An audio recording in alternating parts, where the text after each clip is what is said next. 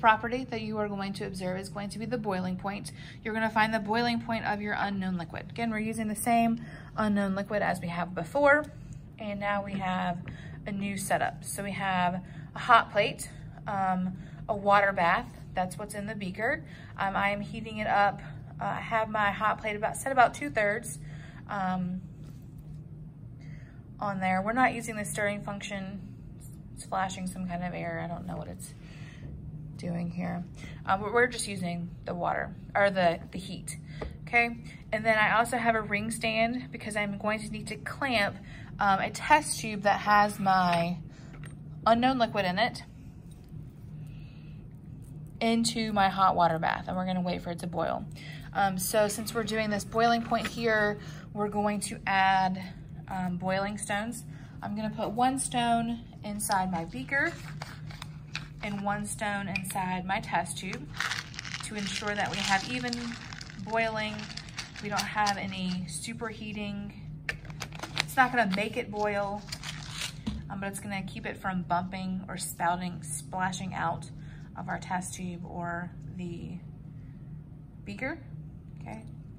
So again, we're gonna have one boiling stone inside our unknown liquid, inside the test tube, and then one inside our hot water bath, okay? So the placement of your water bath, you wanna make sure that you get all of your liquid inside um, the hot water bath and then you also, the placement of the thermometer is important. Um, so I'm gonna get this set up to show. Okay, so I wanna show you the placement of the thermometer here.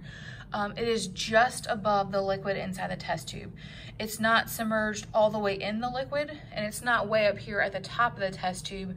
We want it just above the liquid in there so that you're measuring the um, temperature of the vapor, what it's boiling. Okay, so then once I have that thermometer placement right, I'm gonna come around and um, lower my test tube into my hot water.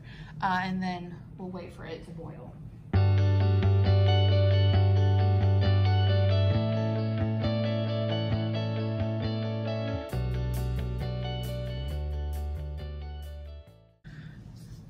Okay, so now I have my thermometer just above the liquid inside the test tube and all of the liquid inside that test tube is under the water. So we're just letting that water bath heat up, waiting for that liquid in our test tube to boil.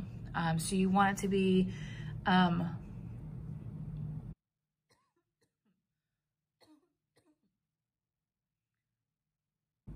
we can watch the thermometer here. We have it. The temperature is gonna go up. So once we see this boiling, um, the temperature should go up and up. It should keep raising. It, it should keep rising. And then once it's at its boiling point, it's going to kind of level off, okay? And we'll see the boiling uh, of the liquid inside the test tube. That's when we know we can kind of watch for the thermometer to stop rising. So if you watch it now, you can see it's, it's going up as it's heating up.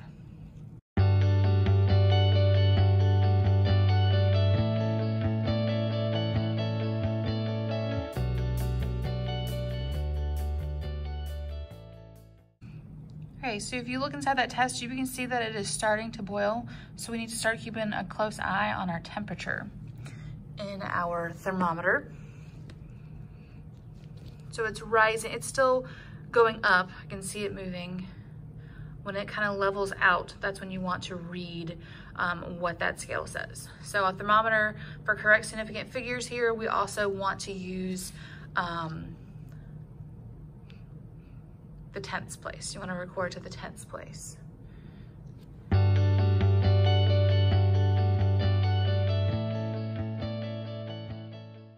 see it's rapidly boiling now, so we probably should go ahead and take our temperature.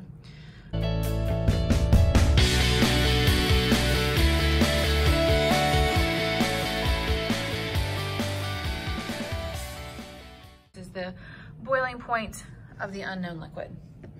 Okay, so once we have that, we're just gonna cut this hot plate off and let that cool off.